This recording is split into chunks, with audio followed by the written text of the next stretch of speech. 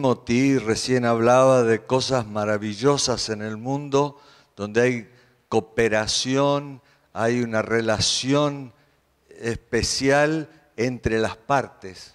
Y les quiero mostrar algunas cosas que podemos ver en los, en los organismos, que, que solemos decir, o recientemente estamos diciendo, son un ejemplo fantástico de eh, diseño inteligente.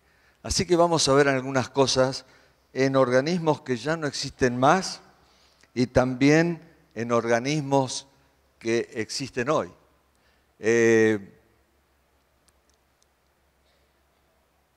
y voy a saltear esto.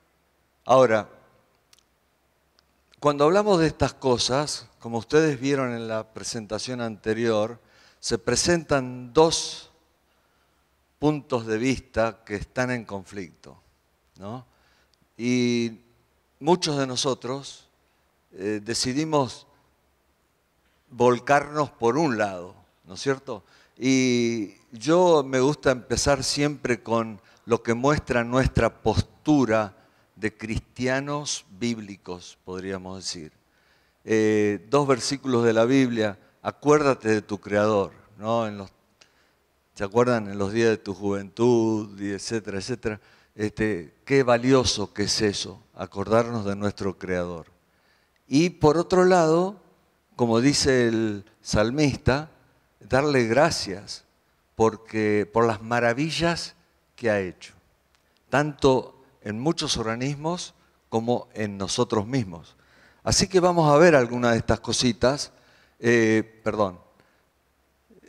Y vamos a empezar eh, con una cita de Elena White, muy interesante porque dice, para nosotros que pensamos que Jesús es el creador y que es la verdad y la vida, no ponemos a prueba la Biblia por las ideas que los hombres de ciencia tengan, sino que somete más bien, o sometemos más bien, estas ideas a la prueba de la autoridad infalible. Sabemos que en la ciencia verdadera no puede haber nada contrario a la enseñanza de la palabra, puesto que ambas proceden del mismo autor, la verdadera comprensión de ambas demostrará que hay armonía entre ellas.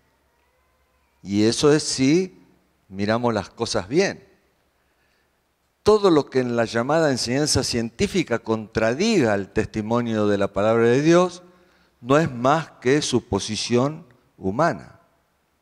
Y esto es algo muy interesante porque acá estamos hablando de, la suposición. ¿Qué es la suposición? Es hablar sin tener datos básicos y científicos, podríamos decir. Eh, hablar sin fundamento, sin tener las lo básico que se necesita para poder decir algo. Y bueno, yo quiero mostrarles algunas cosas que justamente nos dan la base para poder argumentar que hay un diseñador. Eh, fíjense, y vamos a empezar con Darwin, que es el, digamos, el que se ingenió con estas ideas que Timothy estaba mostrándoles este, sobre cómo se originaron los seres vivos. Pero acá habla Richard Dawkins, algunos de ustedes habrán escuchado de él, últimamente se ha convertido como el evangelista del ateísmo. Y hablando de Darwin, dice que la teoría darwinista de la evolución a través de la selección natural es satisfactoria, porque nos muestra una manera en que la simplicidad puede convertirse en complejidad. Como átomos desordenados pueden agruparse por sí mismos cada vez en patrones más complejos hasta que terminaron fabricando gente. Darwin provee una solución la única posible que se ha sugerido hasta ahora al grave problema de nuestra existencia. Ahora, hay que cuidarse mucho con lo que la gente dice, porque Darwin nunca habló de átomos que se fueron juntando cada vez en forma más compleja hasta que terminaron fabricando gente. Él empezó y su teoría empieza con un organismo que ya estaba vivo. Y tampoco es que esa sea la única explicación que hay. Me parece que estamos todos de acuerdo que hay otras explicaciones, especialmente la que viene de la Biblia, para el origen de la vida y de la complejidad que podemos ver en nosotros mismos, ¿no es cierto? Pero ya que Richard Dawkins hablaba de Darwin y de lo, importante que es lo, que Darwin hizo, veamos lo que dijo Darwin. Eh, fíjense que en el, en, el, en el origen de las especies él dijo que muchos grandes grupos de hechos son solo comprensibles bajo el principio de que las especies han evolucionado mediante pasos muy pequeños. Así que las cosas fueron cambiando lentamente, gradualmente, mediante pasos muy pequeños. Eh, si se pudiera demostrar que algún órgano complejo existe que no hubiese podido formarse a través de numerosas y pequeñas modificaciones, mi teoría se derrumbaría en forma completa. Ah, no sé si habían escuchado eso antes pero es interesante que él haya admitido que a lo mejor puede haber algo que derrumbe su teoría en forma completa. ¿Y qué órgano podría ser? Bueno, él habló del ojo humano y decía, libremente confieso que suponer que el ojo humano, con todos sus inimitables mecanismos para el ajuste del foco a diferentes distancias, para emitir diferentes cantidades de luz, para corrección de la aberración cromática eh, y esférica pudo haberse formado por selección natural, parece ser totalmente absurdo. ¿Y lo será? Bueno, este, fíjense qué interesante. Él, él pensó, bueno, capaz que lo que pasó fue lo siguiente. Primero apareció una membrana, la primera rayita a la izquierda es una membrana que tiene muchas células y por ahí, por alguna razón que no sabemos, algunas de esas células empezaron a tener capacidad de, admitir luz y de reaccionar frente a la luz. Después, por alguna razón que no sabemos qué fue, eh, se metió para adentro haciendo una cavidad y esa partecita rosada que se ve ahí es la que tiene las células fotosensibles. Después, por alguna razón, se llenó de un líquido Después le apareció eh, un lente de algún material que tapó, digamos así, la cavidad. Y entonces después le aparecieron músculos y el lente pudo haber sido flexible y moverse para enfocar la luz en el fondo del ojo. Ahora, ¿a ustedes les parece que esos son pasos suficientemente pequeños? en realidad no son tan pequeños, son bastante gigantes, ¿no es cierto? Este, y resulta que ahora que sabemos en realidad cómo funciona el ojo, se pone mucho más difícil todavía, porque no es solo el ojo el que ve. ¿Qué es lo que ve? El cerebro, exactamente. Y ahora sabemos que hay más de 30 centros de la visión en el cerebro. Este, incluso dicen que hay uno para la suegra. ¿no? Este, y ustedes saben, porque continuamente los que están casados eh, eh, se imaginan o ven la imagen de la suegra en la mente y ya se vienen toda esta otra cantidad de pensamientos, ideas, experiencias que han tenido, sentimientos incluso. Y bueno, este, ¿de dónde sale toda esa complejidad? Entonces, si la visión realmente ocurre en el cerebro, este, el cerebro tiene que haber evolucionado junto con el ojo para poder ver. Así que no es tan simple como se le imaginó a Darwin. Y la, y la membrana que está en el fondo de nuestros ojos, que llamamos como retina, ¿sí? este, funciona de una forma muy espectacular. Y ustedes ahí ven esa reflechita amarilla que entra, que es la luz, y empieza, y la luz llega a la primera neurona y se transforma en un impulso nervioso. ¿Y la imagen dónde está? Si es un impulso nervioso. Muchos, miles, millones de impulsos nerviosos se procesan en la retina, en el fondo, donde están esas células verde, azul y rojas, y están las otras grises, los conos y los bastones, que producen cierta reacción química y mandan otra señal, que es la otra flechita que se va para afuera, una media verdecita, y se va para el cerebro. Y allá en el cerebro es donde vemos todas estas, estas eh, ondas, podríamos decir así, eh, impulsos nerviosos se convierten en imágenes que vemos y que podemos conectar con otro centro del cerebro para recordar, para experimentar una cantidad de cosas, eh, algo realmente extraordinario. Así que así de complejo es el ojo humano. Ahora, no vamos a hablar del ojo humano, eh, eh, vamos a hablar de otra, otra, otro ojo de otro organismo que es un organismo que ya no vive más y se llama trilobite.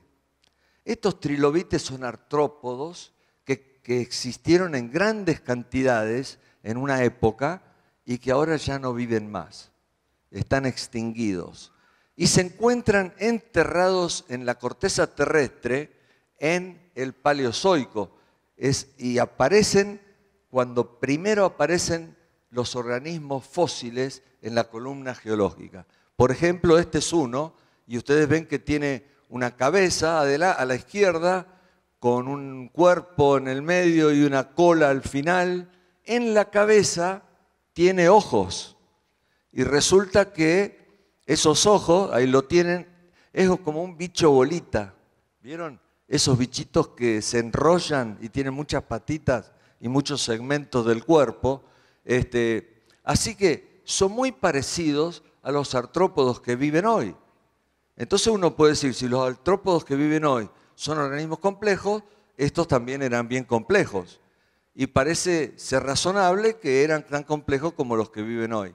Y el asunto es que debajo de donde se encuentran fósiles, la primera vez que se encuentran en la columna geológica, ya no hay nada parecido a un trilobite.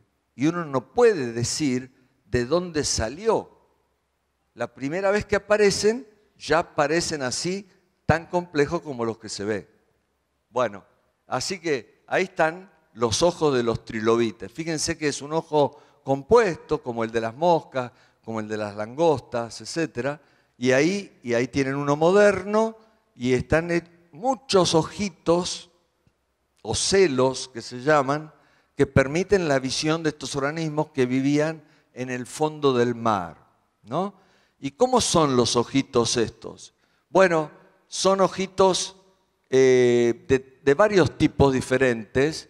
Ahí tienen eh, unos diferentes trilobites y algunos son de este tipo y del otro y del otro, tienen nombres especiales, pero ustedes ven ahí en el centro dos ojos grandes en la cabeza, con ojos apuntando para adelante, otros para el costado, otros para atrás. Algunos tenían cientos, otros tenían decenas, y ahí están, ahora los van a ver de vuelta. Eh, ahí arriba está uno, este tiene el nombre científico, incluye la palabra rana, porque parece una ranita, ¿no? De frente. Este, y ahí está enrolladito, y entonces ahí están los ojitos, fíjense cómo son. Algunos son cientos, a lo mejor miles. Lo importante acá que quiero mostrar es lo que se ve en color celeste.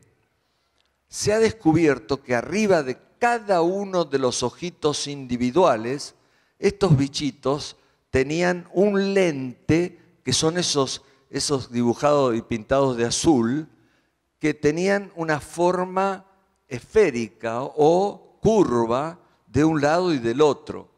Y lo, interesante es que este lente era de, de mineral, como son los lentes que nosotros tenemos hoy. Estos que son de, vidrio, ¿no? Para corregir algún problema que tenemos. Bueno, los bichitos estos en cada ojo tenían un lentecito que doblaba los rayos de luz para que se enfoquen en el fondo del ojo. y tenían una curvatura de un lado y una curvatura del otro. Y ahora lo vamos a ver con un poquito más de detalle y ahí están, fíjense, los ojitos, ahí van otra vez, y ahí esos rojitos, bueno, ahí a la derecha abajo se ven lo, donde estaban los, los, lentes de mineral que era calcita, un carbonato de calcio, como el que se suele pegar a los caños de agua y a las ollas cuando calentamos agua. Bueno, e, ese cuando los átomos están arreglados de una manera correcta, es un mineral transparente. Entonces, el lente era como esos que se ven ahí en color azul, y ahí están otra vez.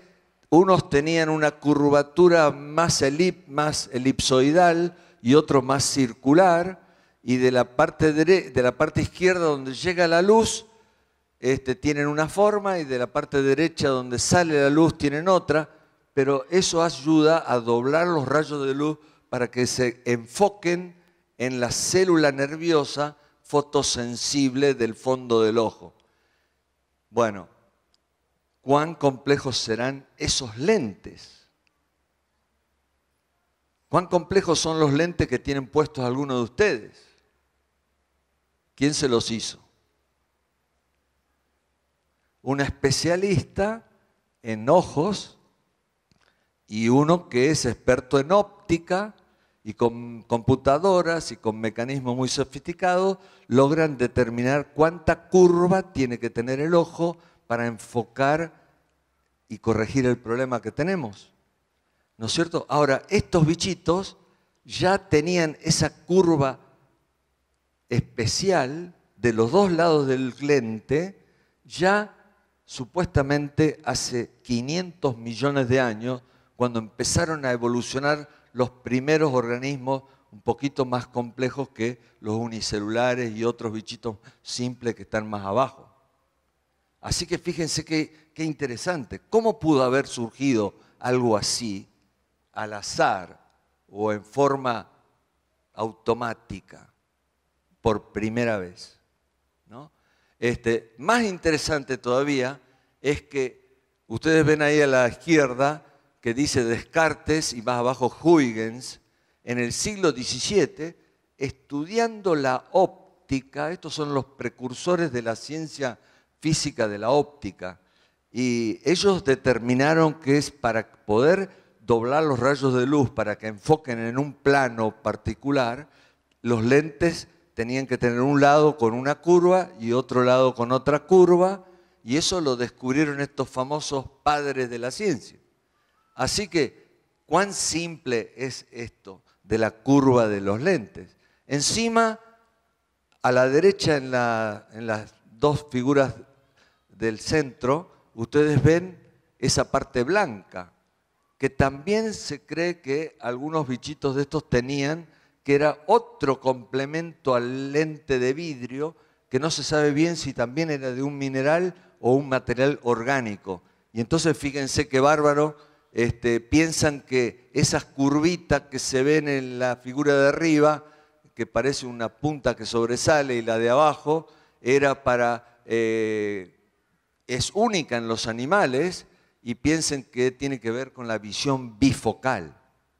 Y el de abajo es un poquito diferente, pero uh, también enfoca los rayos perfectamente y ahí tienen esa parte blanca que piensan que era para corregir la aberración esférica y cromática.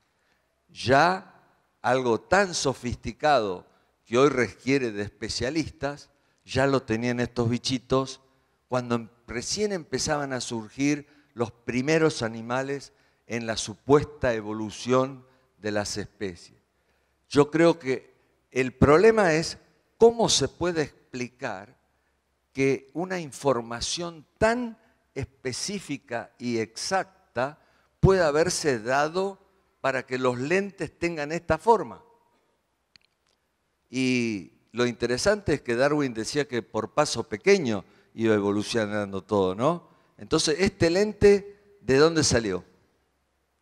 No se ve en ningún lado otros lentes fallados, podríamos decir, donde, la evolución no funcionó, hasta que se, se dio con la curvatura correcta que hace que el ojo funcione. Pero no hay. La primera vez que aparecen estos lentes en estos bichitos, ya son así de complejos. Eso es lo que nosotros llamamos complejidad especificada. ¿Y cómo, quién lo especifica? No puede surgir por sí sola. Ese es el problema. Necesita alguna inteligencia que sea capaz de especificar esos detalles complejos, esa información compleja. Y nosotros por eso decimos que estas son evidencias muy, muy lindas de diseño inteligente. Tuvo que haber un diseñador, una inteligencia que especifique estos datos para que estas estructuras puedan tener la forma que tienen y funcionen correctamente. Bueno, eh, este es un famoso experto en trilobites. Y fíjense lo que dice uno de los más expertos en trilobites. La realización de que los trilobites desarrollaron y usaron tales artefactos como los lentes de los ojos medio billón de años atrás hace que el shock sea mucho mayor. Y un descubrimiento final, ¿se acuerdan la partecita esa celeste y la blanca? Este, que la interfase refractaria entre los dos elementos del lente en el ojo del trilobite fuera diseñado de acuerdo con las construcciones ópticas que resolvieron Descartes y Huygens a mediados del siglo XVII, raya en pura ciencia ficción. O sea, no se puede creer que algo así haya, haya surgido. Así que, ¿de dónde salió? Bueno, eh, y ¿Qué significan estos datos? Bueno, fíjense lo que dice Philip Johnson, este es uno de los líderes del movimiento del diseño inteligente, dice, cuando se examinan objetivamente los fósiles, proveen mucho más desánimo que apoyo al darwinismo. Pero la examinación objetiva raramente ha sido el objeto de la paleontología darwinista. El abordaje darwinista consistentemente ha sido el de encontrar alguna evidencia fósil en apoyo, afirmar que es una prueba de la evolución y luego ignorar todas las dificultades. Así que, ¿qué quiere decir esto? ¿Cuán confiable es esa información, o sea, esa teoría, que no está basada en los datos? Los datos no están diciendo otra cosa. Entonces, ¿cuán confiable puede ser eso? ¿No será que esto es meramente suposición humana? O sea, la teoría de que todo evolucionó. Bueno, les quiero mostrar algunas otras cosas. Este, la idea, después que surgió el darwinismo y se hizo tan, tan popular en, en 1900, hacia 1960 y los 70 ya había una idea de que el darwinismo y, esa explicación podría dar cuenta de todo.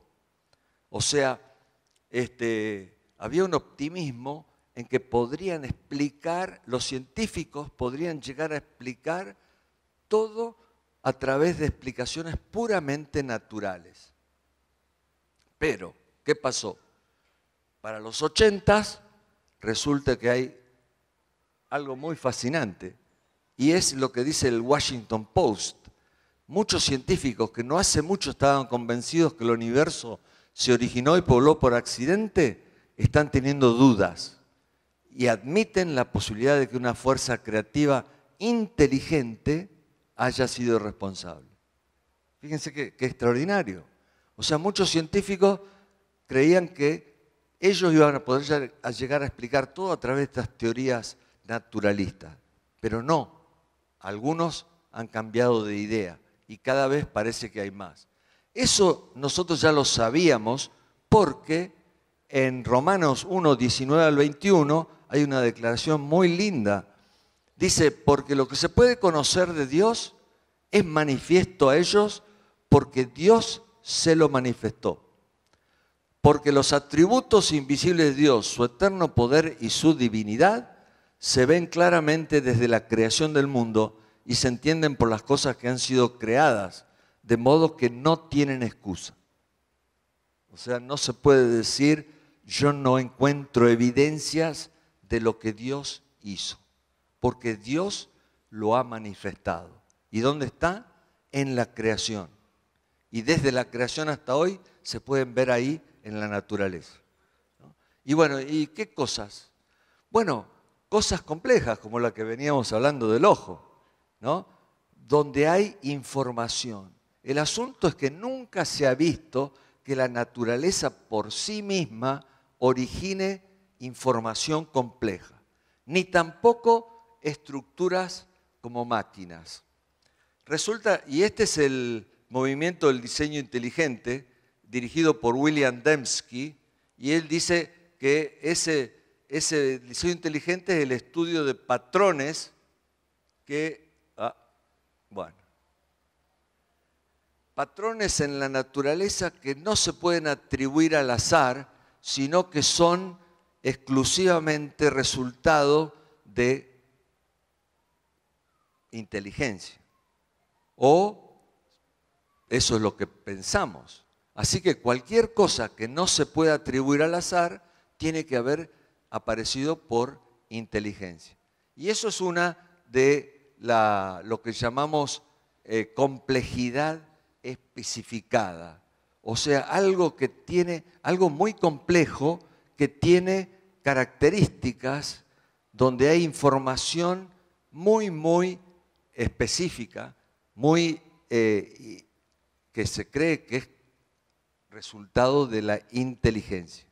Y entonces la idea fue desarrollada más por otro investigador, Michael Behe, que dijo que hay algunas estructuras en los seres vivos. Él es, él es, el que escribió ese libro, ustedes a lo mejor lo escucharon nombrar o lo leyeron, La caja negra de Darwin. E, ese libro ahí sostiene la idea de que Darwin en sus días no, tenía maneras de mirar adentro de la célula y ver la complejidad de la célula. Así que eh, lo llamó la caja negra, porque adentro de la caja negra no se podía ver lo que había. Este, y él decía, cuando miramos las cosas que se ven adentro de la célula, encontramos estructuras que tienen lo que se llamó, él llamó complejidad irreductible. ¿Vieron esas trampas para ratones? Que tienen una tablita y unos alambres con un resorte y ustedes ponen el queso, en cuando mueve el queso salta la trabita y cae el alambre y atrapa el ratón. Bueno, tiene cinco o seis partes. Si le sacamos una de las partes, ya no funcionaría. Entonces tiene que aparecer la primera vez armado como es. Eso es complejidad irreductible. La evolución dice que todo fue evolucionando de más simple a más complejo. Así que forzosamente tiene que haber habido algo más simple.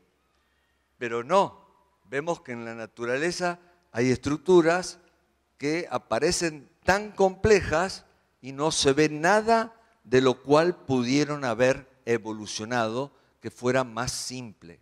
¿no? Así que ahí está Michael Behe y ahí está su libro La caja negra Fíjense qué interesante. Eh, Bruce Alberts dice, hemos subestimado las células. Y él es un famoso biólogo, eh, presidente de una sociedad científica importante en el mundo, y él, y él nos hace ver que adentro de la célula hay todas estas maquinarias.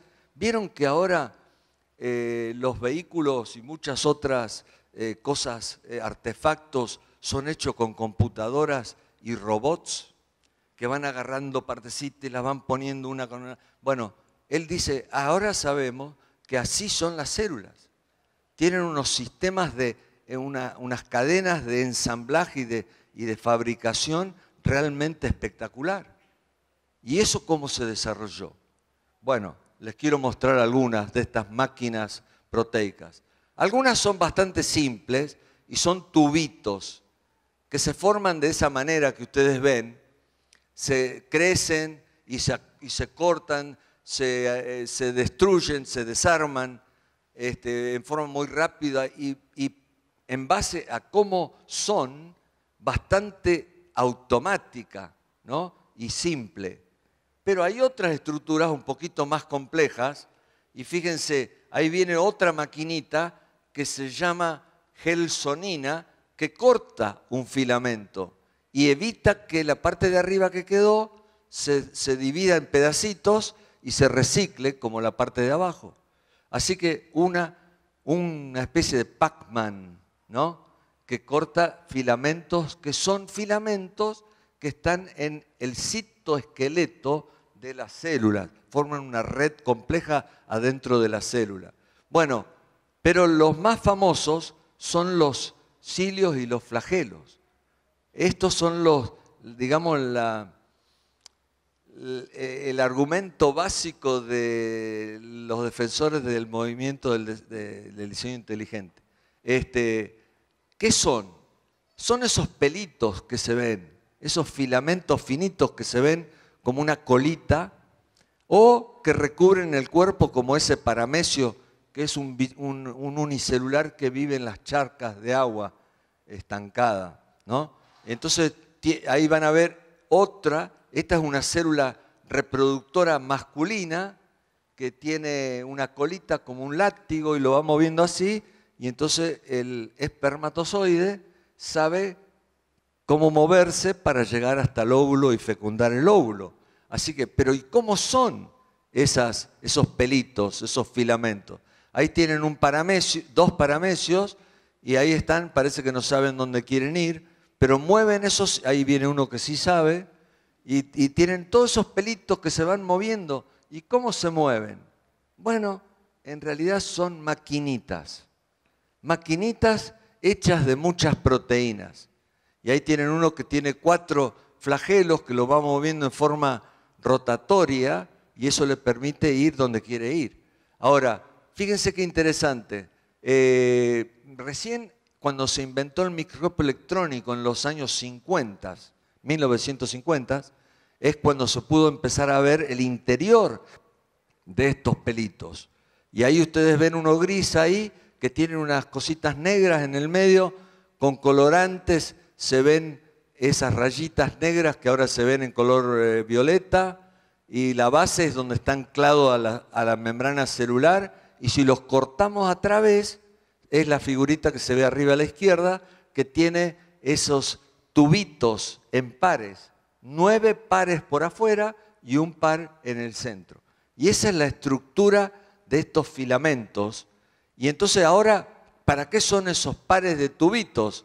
Bueno, eh, ahí a la derecha se ve un corte y se ven los pares de tubitos que están unidos entre sí por brazos. Así que hay brazos que unen los, pares de tubitos de la periferia y otros como rayos de una rueda que se unen con los dos del centro. Y gracias al movimiento de unas maquinitas proteicas este, que están hechas de proteínas, eh, se acortan y se alargan los brazos conectores y eso tira a los filamentos para que se doblen de un lado para el otro y la acción conjunta y, coordinada de todos esos tubitos hace de que el pelito se doble para un lado y se doble para el otro y entonces produzca el movimiento que después junto con los demás hace que el organismo pueda moverse. Realmente espectacular. Estos están hechos de muchas proteínas diferentes, acuérdense de eso. Ahora, les quiero mostrar uno de una bacteria y fíjense, ahí está la estructura del flagelo y la foto que se ve arriba a la derecha ustedes ya pensarían, eh, pero esto es parte de una máquina, parece un tuercas y tornillos, rulemanes, ejes, ¿no? Y efectivamente es parte de una máquina.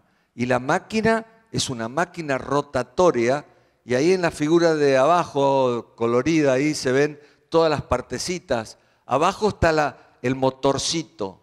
Y lo interesante del motorcito es que rota en, sentido de reloj o en contrarreloj y rota a más o menos eh, con el flagelo pegado rota a como a mil, dos mil revoluciones por minuto este, para un lado, para en un cuarto de vuelta y después empieza a girar en sentido contrario. Así que tiene un botón interruptor que lo arranca y lo hace, lo hace parar y lo hace ir en sentido contrario. Tiene un eje de transmisión porque la parte de abajo rota y, está unida con un eje que sigue y da vuelta al flagelo. Y ustedes ven esa parte azul como un, como un codo, exactamente, es un gancho que une el motor, el eje del motor, con la parte amarilla que se ve allá arriba, que es el resto del flagelo. Y cuando rota el motor, rota el flagelo y eso le da una propulsión al bichito para poder moverse donde quiere ir. ¿no? Este, lo van a entender mejor ahora. Esta es una animación hecha por el Instituto Erato de, japonés, de nanomáquinas, porque claro, esta es una máquina rotativa, funciona, ven esos puntitos blancos que vienen bajando, son átomos de hidrógeno, pasan por unos tubos, unos canales, y entonces al unirse con la parte inferior, eso le da la fuerza para rotar. Eh, la parte inferior esa, esa parte naranja en la base. Y entonces el movimiento rotatorio se transmite, ven que la parte verde-gris que está más arriba está fija y por adentro el eje rota. Así que hay como un rulemán que permite todo ese movimiento y bueno, todo eso se transmite a la parte de arriba. Y fíjense qué interesante que eso es de un tamaño de espesor de 30, 40 nanómetros, que son millonésimas de milímetro. Y para eso se necesitan como 50 proteínas diferentes, 20 forman la estructura y otras 30 son las enzimas que ayudan a ensamblar todo y manejan todo el funcionamiento.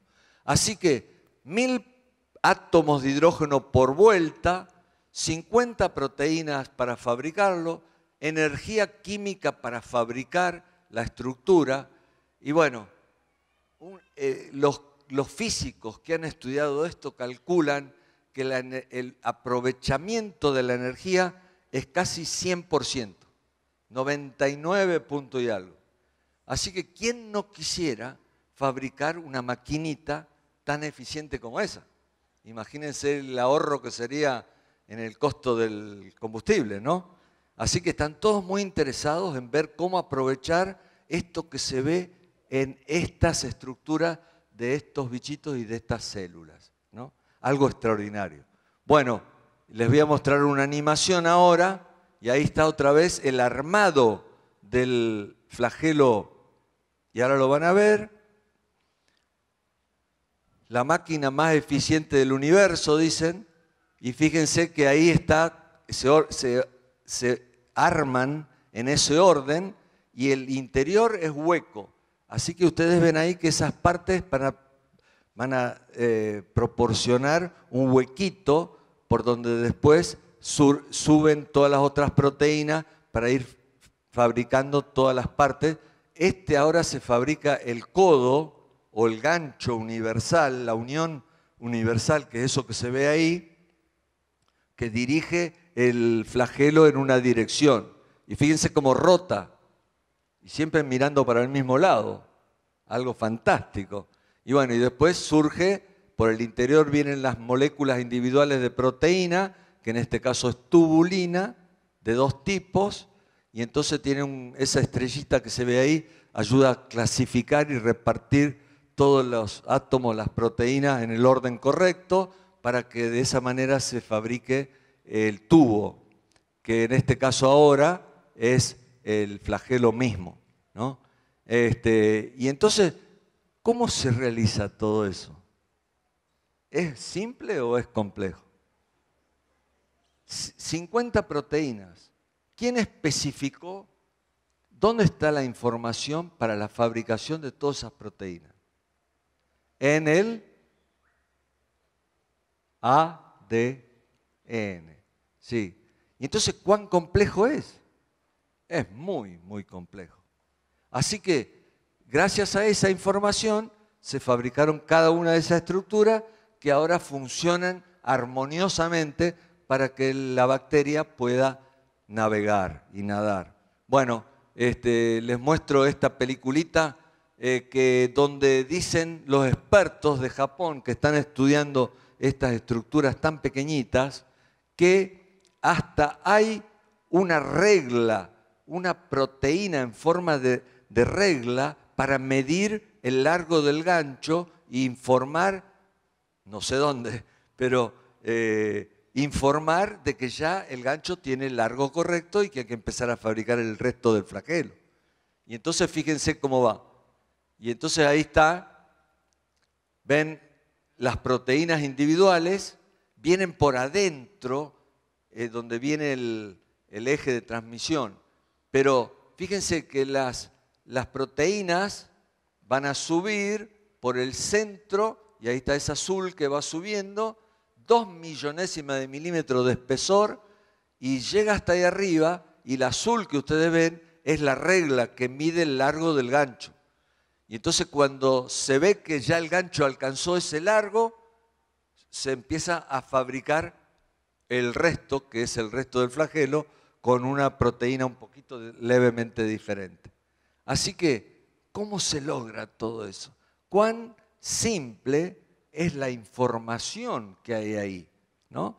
Bueno, y entonces eh, acá tienen otra peliculita que muestra cómo se agarran las proteínas individuales del medio donde está esta estructura y cómo después se va este, metiendo hacia el tubito y eventualmente llegan a, a la porción del el flagelo. Ahí están como en un dock donde, donde llegan los camiones o los barcos y entonces de ahí la carga se transmite hacia el interior. Y ahí está el portón de exportación y ahí por ahí va siguiendo el transporte de esas estructuras y eventualmente llegan a la punta donde se terminan este, acomodando porque se tienen que desenrollar las proteínas que tienen hechas de muchos aminoácidos, se desenrolla, viajan por el centro, llegan allá, se enrollan de vuelta y entonces así se acomodan en el lugar correcto. Así que una complejidad irreductible impresionante porque este motorcito cuando aparece ya aparece así de complejo. No hay nada más simple de lo cual se pudiera haber evolucionado. ¿no? Así que fíjense qué extraordinario. Esta es otra bacteria, la llaman el Ferrari de los motores bacterianos, porque permite que la bacteria nade a una velocidad de 100 largos de cuerpo por segundo. Y tienen, eh, así que, ¿quién puede hacer, qué organismo vivo puede hacer eso? Correr a una velocidad de 100 largos de cuerpo por segundo. ¿No? Así que algo realmente espectacular. Y este es el motorcito. Ahora ustedes lo ven ahí, son, son unos, unos eh, microtúbulos más gruesitos como los amarillos y entre medio todos esos verdecitos que son unas fibrillas muy, muy finitas que permiten el ahorro de energía y que, eso pueda moverse más rápido para hacer mover al, al conjunto de flagelos, podríamos decir, que están envueltos en una vaina especial y eso le permite un movimiento tremendo.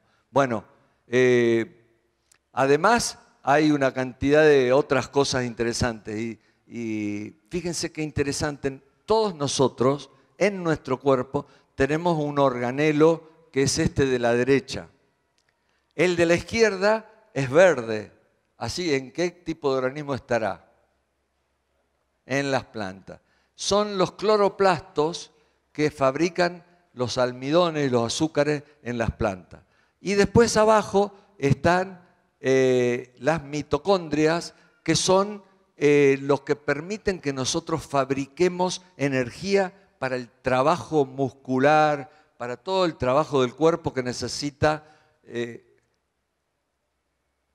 que necesita eh, energía. Y estas maquinitas ahora son una sola célula, perdón, una sola proteína. Y esta proteína también es un motorcito, y voy a acelerar un poquito para terminar. Ahí están las cloroplastos, en la, en la fotosíntesis, en la respiración.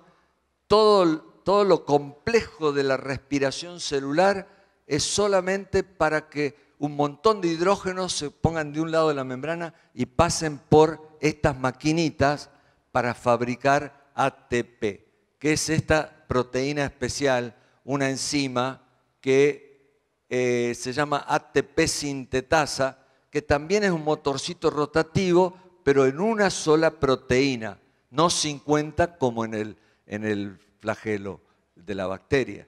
Y entonces ahí están, y fíjense que ahí van a ahí vienen los, esas esos cositas que se van moviendo, son átomos de hidrógeno, pasan por un canal, como en el otro motor también, hacen mover la parte de abajo, pero la parte de arriba no se mueve sino que este, se abre, ¿ven? Tiene un eje con un bulto que hace que se muevan, se separen y se unen, y entonces así se unen las dos partes del ATP, que son ADP y P.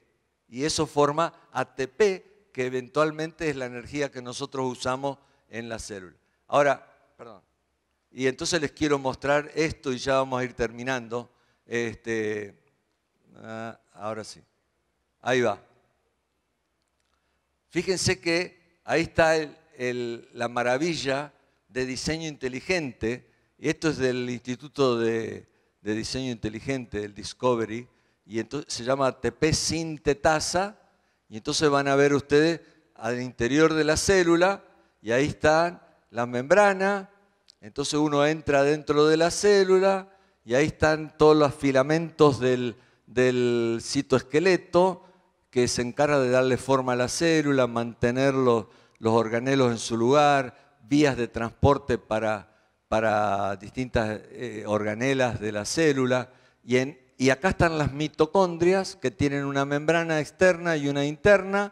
Y cuando miramos adentro, y ahora nos vamos a meter adentro de la mitocondria, la membrana que se llaman crestas, ahí están todos los fosfolípidos y eventualmente ahí están los motorcitos.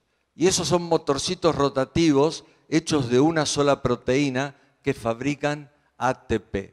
Y ahí los vemos de, costado y ahí están, fíjense que ahí está el motorcito, esa, la parte de arriba es la que rota, mueve el eje de transmisión y abajo están las secciones donde se fabrica el ATP. Entonces ahí vienen viajando por la, el líquido de la, mitocondria, eh, los componentes del ATP se unen en ese lugar y se fabrica el ATP. Una maravilla extraordinaria, algo tan pequeño, tan, tan complejo, porque también requiere de la, de la proteína que viene de la información del ADN.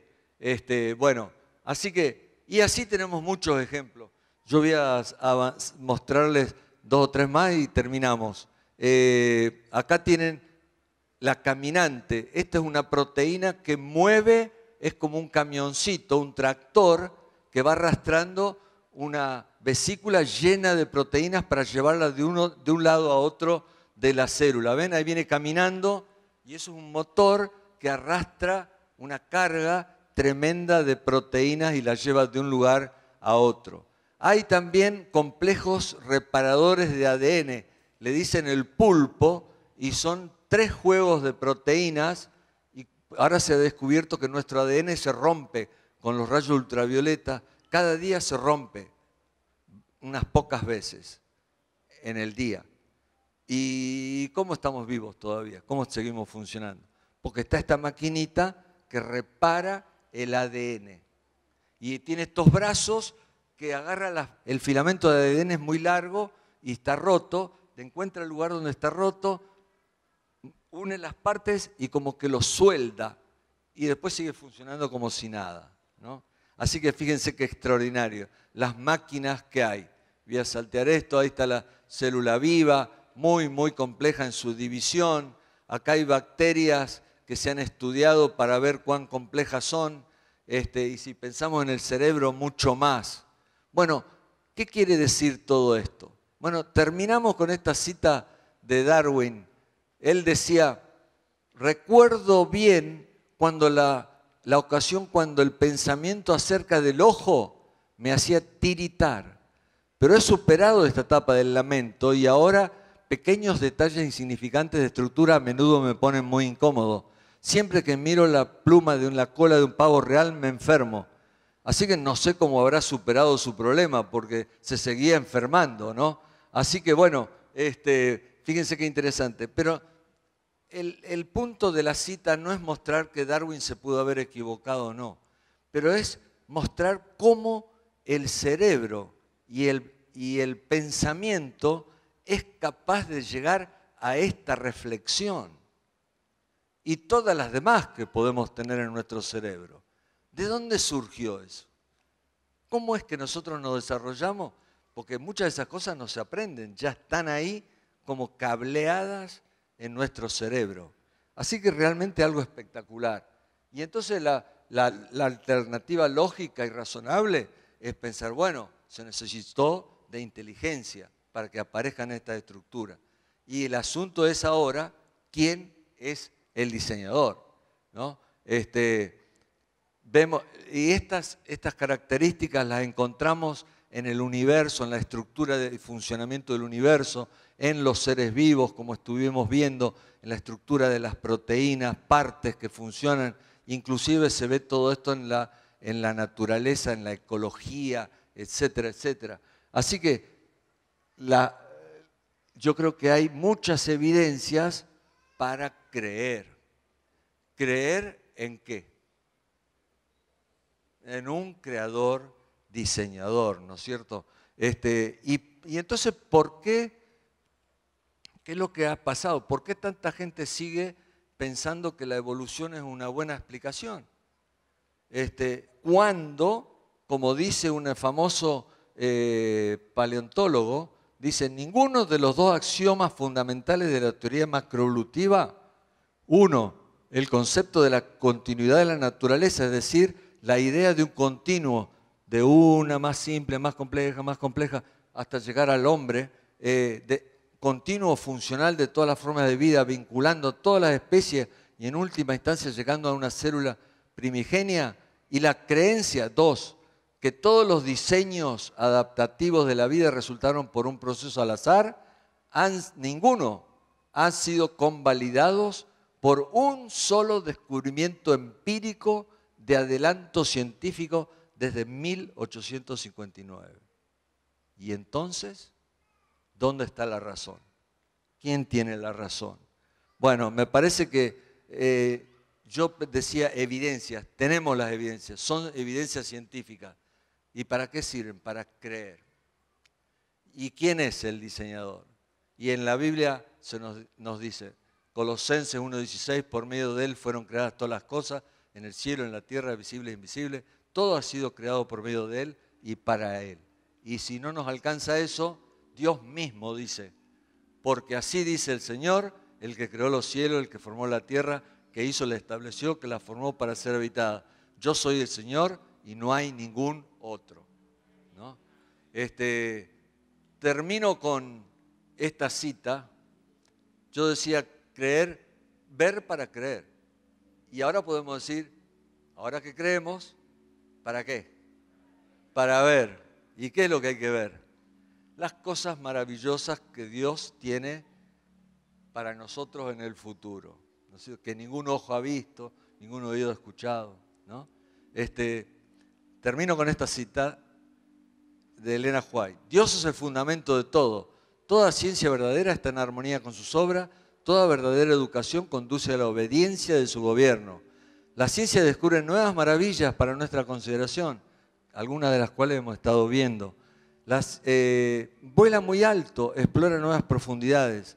La ignorancia puede buscar apoyar conceptos falsos de Dios apelando a la ciencia, pero el libro de la naturaleza y la palabra escrita derraman luz una sobre la otra y de esta manera somos guiados a adorar al Creador y a tener una confianza inteligente en su palabra. No es simplemente esa fe mística, no, es una fe basada en las evidencias que, podemos razonar. Y Dios nos, nos pide que razonemos y creamos en Él, sí, por fe, pero una, fe basada en estas evidencias. Y podemos al final agradecer a, a, Dios porque tú formaste mis órganos internos, tú me entretrejiste en las entrañas de mi madre. Que esa sea nuestra experiencia de esta noche. Amén.